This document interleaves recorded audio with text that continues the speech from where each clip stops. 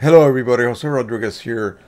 Almost on a daily basis, I keep seeing uh, posts about people finding used printers, and I have to admit that I have only purchased out of maybe 30 plus printers that I have owned during this little career of mine on YouTube. Um, the majority of them were bought used.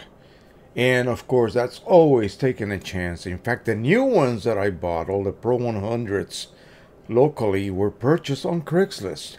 And so it's odd, but you know, you have to kind of be very careful as to how you approach buying a used printer. And you often see them described as like new or very little use.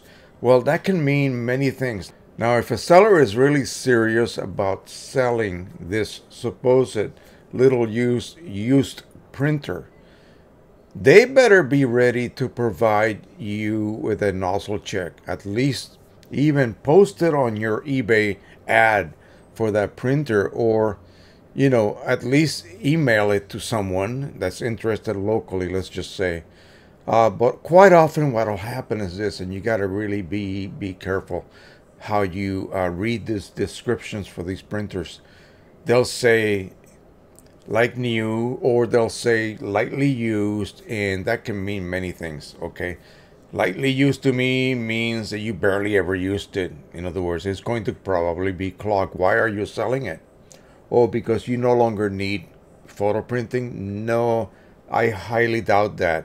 You're probably selling it because you let it sit for such a long time. Now it's clogged up and yeah you ran out of ink. And there's no way that you're going to be buying ink just to test a printer in order for you to sell it. No way. You're not going to do that so you're going to pawn it off to someone who will have to take it under their wing i guess like just like i did and revive them and i've been able to do it i have not had a single failure but that's not saying that you're going to get a, a workable printer out of something you buy unknown from eBay. Now, the excuse you'll normally get is no, I cannot run a nozzle check because one of my cartridges is empty. Oh, that's a good one. That's always going to be a red flag. Just walk away from that sale. Now, if you live in a big city and you have lots of Craigslist sellers, is that still around? I think so. Look up that particular printer you're looking for and see if anyone is selling them and it's got to be brand spanking new in box. If they have it used, then you should be able to visit their home or wherever they have it housed and test it. If it does not work out, walk away. Do not even continue humoring this person. Just walk away. There'll be others, believe me. So careful. Do not buy anything online that's going to then cost you like 70 80 dollars to ship to you and what if we have to return it that's another 70 or 80 dollars now let me leave you with this little tidbit oh my gosh i was at micro center this morning and i decided as i was leaving with my item i decided to walk by the paper section and then i walked by right next to it was the ink section. Whew. A set of these was $139.99 plus tax. Eight of these. I cannot believe it. Even CLI 8s like these was $10 less.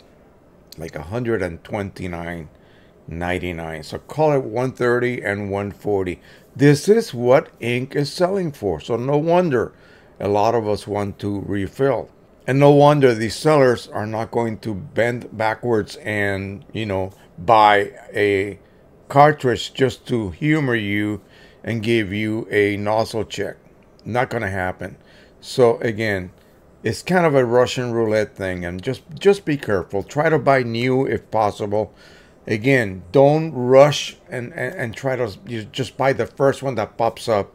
Look on Craigslist, look on local sales, look on Facebook Marketplace.